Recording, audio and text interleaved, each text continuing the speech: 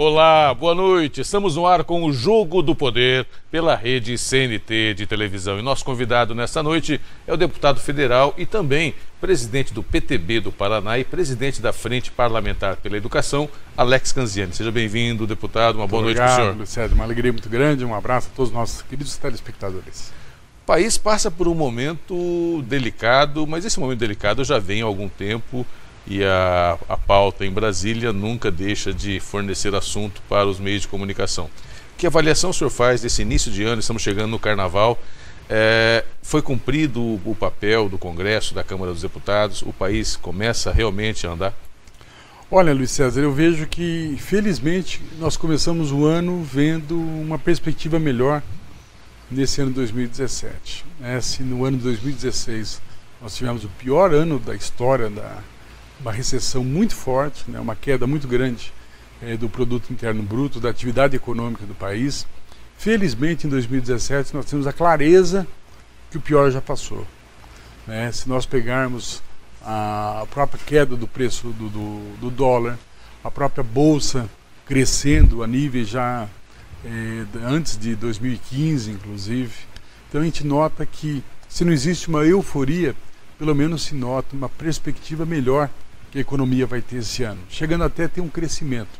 Né? Para quem teve dois anos muito ruins, sem dúvida isso é um avanço muito importante.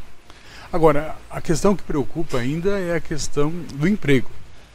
O emprego, ele é o que o último é que sente, mas também é o último que volta após uma crise. E hoje nós temos mais de 12 milhões de desempregados, uma situação muito difícil para os trabalhadores como um todo. Mas a gente espera que com essa retomada da economia, com a melhoria que nós estamos tendo já de alguns indicadores, e a gente já sente várias é, atividades industriais é, falando de uma significativa melhora, nós temos a própria questão da, da agricultura, né? É, que vamos ter esse ano uma safra recorde, e isso faz com que nós tenhamos uma expectativa melhor, e nós esperamos que inclusive o emprego possa ter uma melhoria que isso será de fundamental importância para que o Brasil possa retomar a sua atividade econômica, retomar uma questão de uma condição melhor. Agora, o que preocupa ainda é a questão política. Né? Nós temos ainda a questão da, da Lava Jato, nós temos várias delações por sair ainda, e não sabemos o quanto isso vai acabar pegando no próprio Congresso, no governo, e com certeza isso vai causar problemas para que a gente possa avançar numa pauta importante que o governo Temer vem fazendo. Né? É, hoje, se nós pegarmos a popularidade do governo, é muito baixa. Mas ele está tendo a coragem de enfrentar questões importantes para o Brasil. E eu espero que o Congresso também tenha a coragem de poder votar questões importantes para o futuro do Brasil.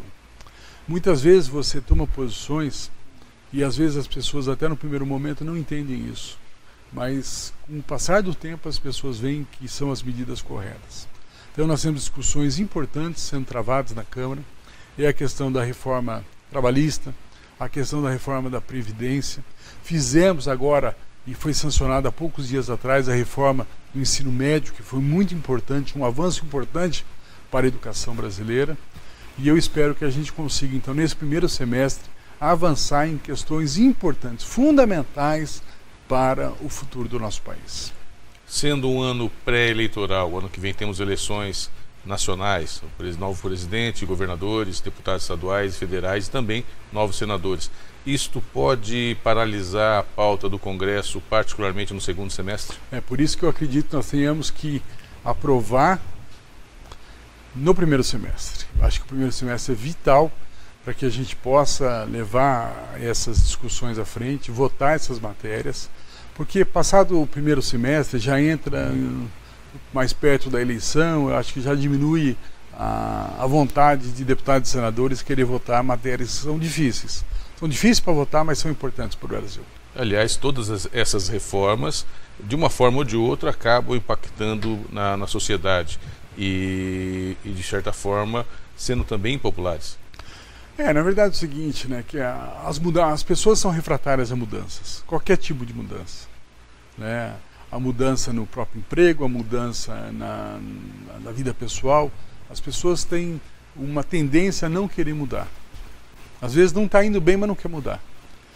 E o Brasil precisa mudar. O Brasil precisa enfrentar questões importantes com relação a, a medidas ou que, ou que nós vamos tomar ou que nós vamos ter uma piora significativa no, no futuro muito próximo.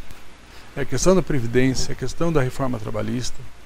Né? Nós temos uma CLT que é completamente anacrônica. Nós precisamos fazer com que ela seja alterada, que ela seja modernizada. Nós temos que melhorar as relações do trabalho. Nós temos que permitir que a negociação possa valer entre trabalhadores e empresários. Aquilo que for negociado não pode depois a justiça dizer não, não valeu. Ora, nós temos que ter a maturidade de poder trabalhadores e isso através do sindicato, através dos seus representantes, poderem sentar e poderem buscar caminhos, poderem buscar alternativas, poderem buscar melhores condições de atender aquilo que a empresa precisa, mas também o trabalhador, também o, a pessoa que, que está necessitando do, do, trabalho. Então eu vejo que é uma pauta que não é fácil, é, é difícil para você encaminhar, até porque infelizmente hoje nós temos posições muito é, acaloradas, muito é, polarizadas, isso é, é, muito ruim, inclusive. Eu acho que muitas vezes as pessoas perdem até a, o bom senso, perdem a capacidade de poder buscar uma alternativa, buscar um, um caminho para que possa se resolver as questões, se radicaliza mais de um lado e de outro e as pessoas não saem das suas posições. E isso, na minha visão, é ruim para que o debate avance, para que o debate avance, para que a gente possa ter a aprovação de medidas importantes para o futuro do país. Há quem diga na questão trabalhista, há dois lados, evidentemente. De um lado, que é, a reforma pode fragilizar os trabalhadores. E de outro lado, também há quem diga que não adianta manter uma estrutura que protege o trabalhador, mas que acaba não tendo empregos formais para o trabalho com 12 milhões de desempregados. A há um ideia, caminho do meio? Eu acredito que sim. E a ideia, primeiro, não é fragilizar, não é precarizar as relações de trabalho.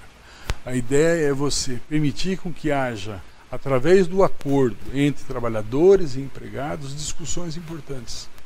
A questão de férias, a discussão com relação ao próprio pagamento do 13 terceiro, se você pode pagar numa única vez, se você pode parcelar esse 13 terceiro, mas sem tirar direitos dos trabalhadores. Isso, isso não está sendo levantado na Câmara dos Deputados. A ideia é você permitir que haja essa, essa flexibilização da, do entendimento por parte dos trabalhadores e também das empresas, mas não se fala em retirar direitos dos trabalhadores.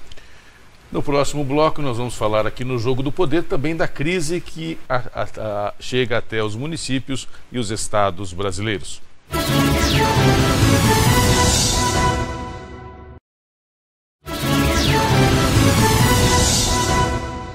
Estamos de volta com o Jogo do Poder e nesta noite nosso convidado é o deputado federal Alex Canziani. Deputado, a crise que nós conversamos no primeiro bloco, a crise que assola o país e que atinge todas as famílias de trabalhadores, é claro, também atinge o, o, o setor público. E há notícias, temos acompanhado notícias de estados que estão praticamente inadimplentes. Rio Grande do Sul com grandes dificuldades, o Rio de Janeiro não consegue pagar folha de pagamento.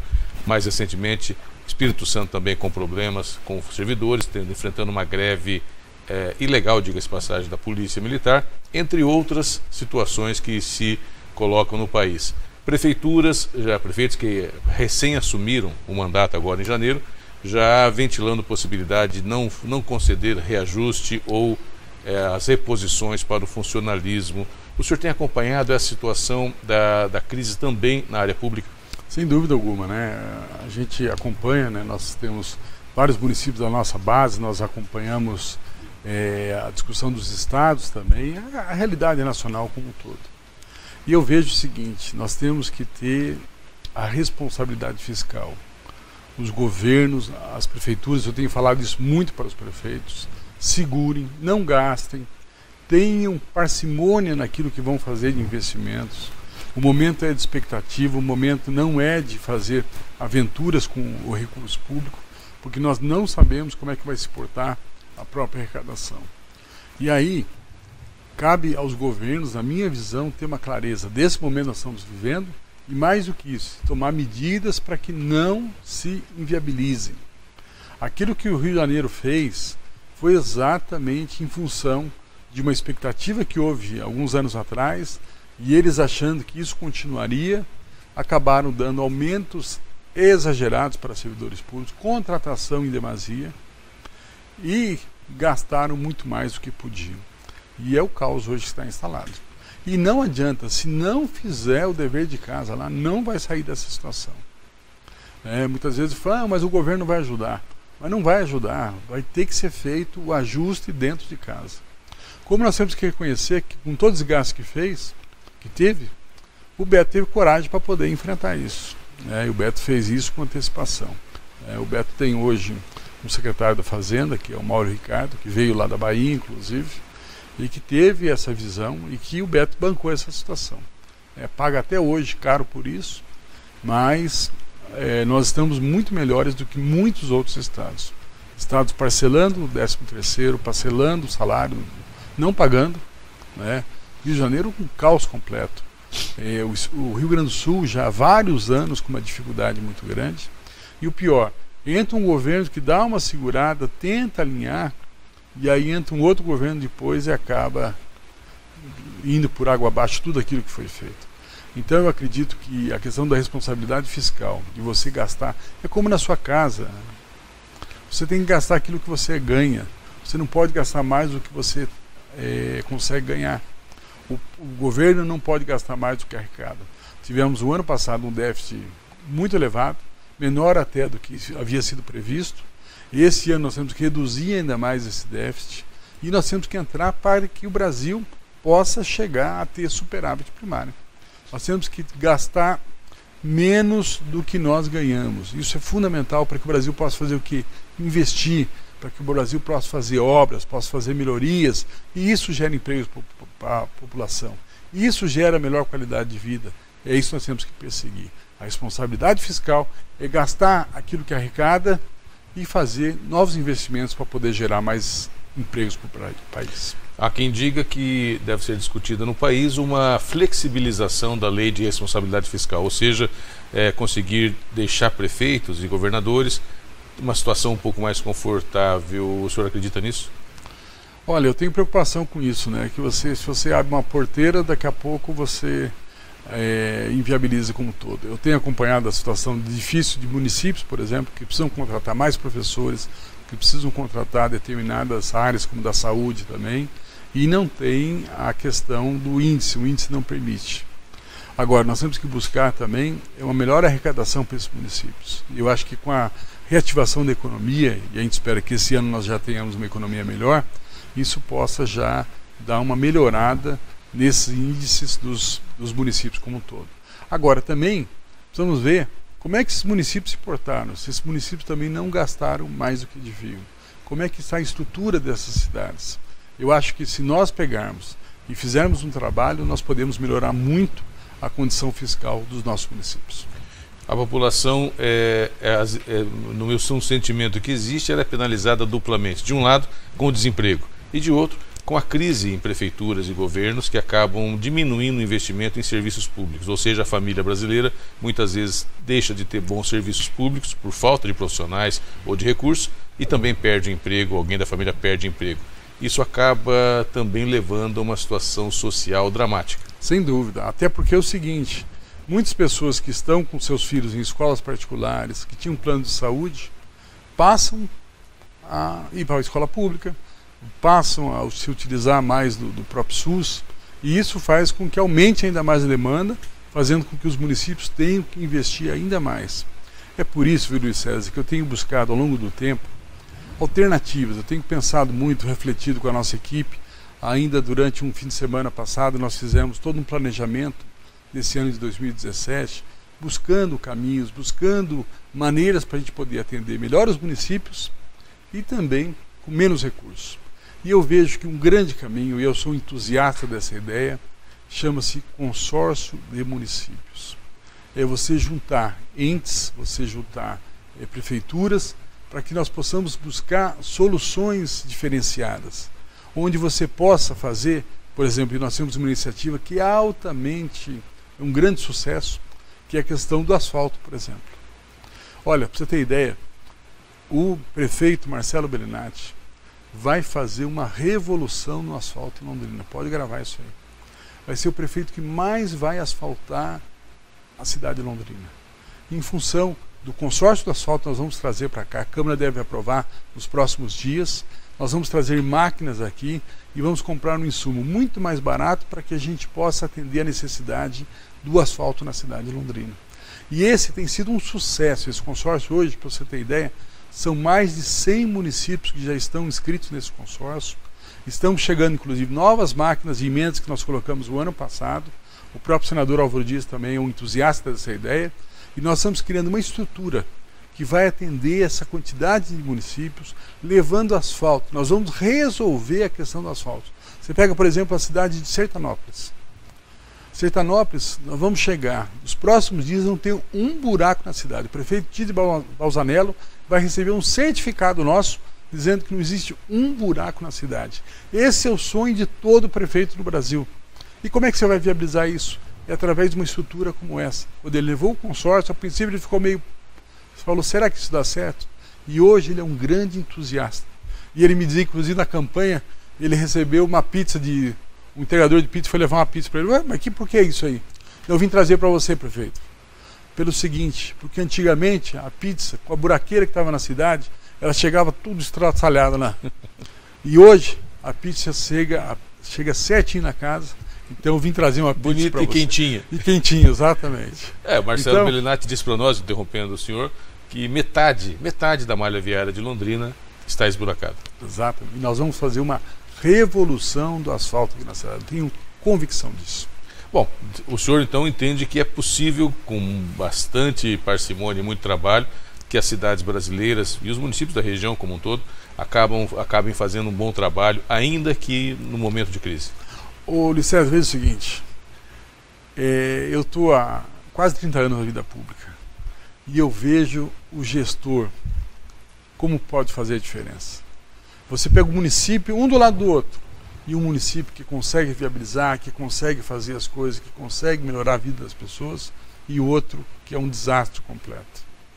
Então, a capacidade que o líder tem de poder montar uma equipe competente, de inspirar as pessoas para poderem trabalhar, para buscar alternativas. Porque é muito fácil falar, ah, não, vou esperar o deputado mandar o dinheiro, o governador mandar o dinheiro. Mas não, é buscar novos caminhos, buscar novas. A questão da inovação, a palavra que se fala muito nas empresas, né, de você buscar novos processos ou buscar novos produtos, nós temos que fazer isso na atividade pública também. É inovar, é pensar diferente, é sair da caixa para que a gente possa buscar soluções, que a gente possa atender melhor o povo e, obviamente, toda ação, todo o trabalho tem que ser para atender a população, mas com menos dinheiro, com menos recursos, com mais criatividade. Ora, quando a gente fala do consórcio do asfalto, por que, que nós precisamos ter uma máquina de asfalto para cada município? E no começo existia até as pessoas, não, deputado, isso não vai dar certo. Porque o município quer ter a máquina na sua. Ora, ele não precisa ter a máquina, ele precisa ter o asfalto, precisa ter melhoria, precisa ter o avanço para a cidade. E é isso que o consórcio permite, onde algumas máquinas atendem muitos municípios, onde você pode fazer um investimento lá, e nós fizemos com emendas ao longo desses últimos anos, construir uma bela de um parque, um parque de máquinas, mas você atende a um município muito grande, uma quantidade de municípios muito grandes. E é isso que faz a diferença. No próximo bloco, nós continuamos conversando com o deputado federal Alex Canziani, aqui no Jogo do Poder.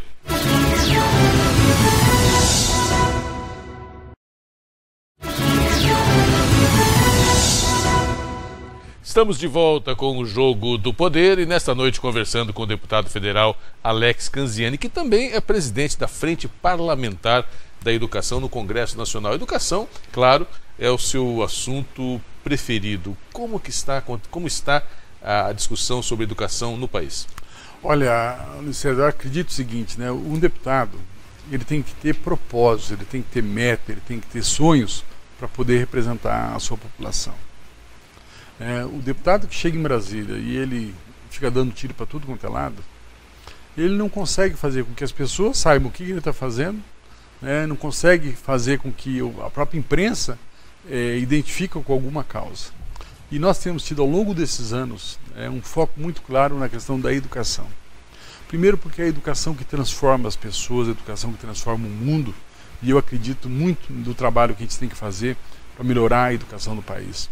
Eu sempre digo o seguinte: eu não sou professor, eu não sou dono de escola, não sou dono de faculdade, mas eu tenho a crença que o caminho para um país mais justo, com mais oportunidades, um país melhor, chama-se, eh, se dá através da educação. E essa tem sido a nossa luta lá diária para que a gente possa melhorar a educação. Tivemos há poucos dias a sanção do novo ensino médio, a reforma do ensino médio. Isso há anos se falava no Congresso, há anos se discutia, comissões especiais, projetos, e nós temos que reconhecer que Michel Temer teve a capacidade, a ousadia e a coragem de encaminhar uma medida provisória que foi um pau, por sinal, no país. Olha, por que medida provisória? Não muda nada. Foi discutido do mesmo jeito, foi aprovado, está sancionado, é uma lei. Isso vai começar a ter praticamente isso a partir de 2019, porque existe uma série de, de ações que vão ser feitas ainda, mas é um passo importante para você dar o protagonismo para o jovem. Nós não podemos pegar três anos de ensino médio e falar, jovem, você vai ter 13 matérias durante esse ensino médio e sem ele poder escolher aquilo que ele quer fazer na vida, para ele já dar um direcionamento para a sua atividade. Hoje, por exemplo, quando você está na sua casa com seus filhos, é, são seus filhos que dizem onde é que vocês vão passar as férias, são seus filhos que dizem que carro vai ser comprado. Eles têm uma quantidade de informação muito grande. Agora, para a vida deles, não. Tem o Estado para dizer o seguinte: não, você vai fazer 13 matérias e vai ficar esses três anos. Então eu acho que isso foi uma condição. E é coisa que acontece no mundo inteiro. Era mais uma jabuticaba brasileira, né, de querer fazer um ensino médio único, estanque, sem ter alternativas para que o jovem possa escolher. Então eu acho que isso foi um passo importante, fundamental, nesse que é o maior gargalo da educação brasileira, que é o ensino médio. Agora é óbvio, se as notas são no ensino médio muito ruins, é porque a base é muito ruim também. E aí nós temos que agora atacar essa questão da base. Nós temos que ter a formação de professores, nós temos que ter a melhor condição para os nossos professores, isso é básico para que a gente tenha isso.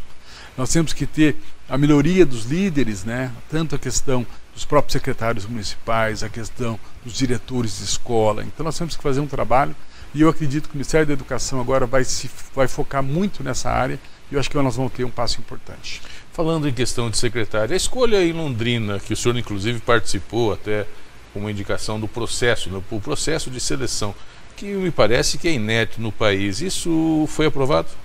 Olha, eu acho que foi uma, é uma questão inovadora, né? O, o Marcelo também teve a coragem de bancar um processo como esse, né? E olha, é um sucesso. Eu que eh, em Brasília, né? Eu em São Paulo também, várias organizações trabalham na área da educação. Esse é um case que vai ficar na história da administração pública brasileira. É você buscar não um nome indicado por um partido, por um vereador, por um deputado, mas um nome que possa é, através da sua qualificação, do seu perfil, da sua história, da sua trajetória, poder ser escolhido. Quando nós lançamos esse projeto, e nós tivemos 129 inscritos de todos os estados do Brasil, né? É, para você ter ideia, aí começou um boato aqui dizendo que nós íamos indicar a pessoa para ganhar. Ora, nós conhecemos a pessoa, eu e o Marcelo, no dia que ela foi convidada para ser a, a secretária, nós não tínhamos contato com, com essa pessoa né, foi escolhida através de uma seleção de uma empresa altamente qualificada, que das 129 pessoas escolheu seis. Depois nós tivemos a própria sabatina aqui, com professores, diretores, pais de alunos, para poder avaliar esses seis candidatos. E depois uma banca altamente qualificada, como o ex-ministro da Educação Paim, como a Priscila Cruz do Todos pela Educação, como o atual secretário de Educação Básica, e ele vai vir inclusive aqui em Londrina nos próximos dias, que é o professor Rossielli, né? a, a, a professora Nádia, nossa ex-reitora da, da UEL, então nós fizemos um trabalho e escolhemos então a Maria Tereza, foi unânime por parte da, da, da banca, porque ela seria o melhor nome, e vai fazer uma revolução na cidade de Londrina, não tenho a menor dúvida disso.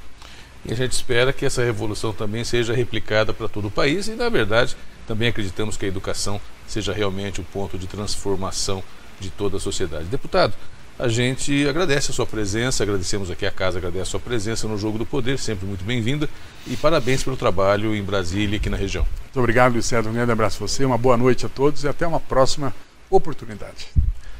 Você fica agora com a programação da CNT. Muito obrigado pela audiência, pelo carinho da sintonia. Uma ótima semana para você.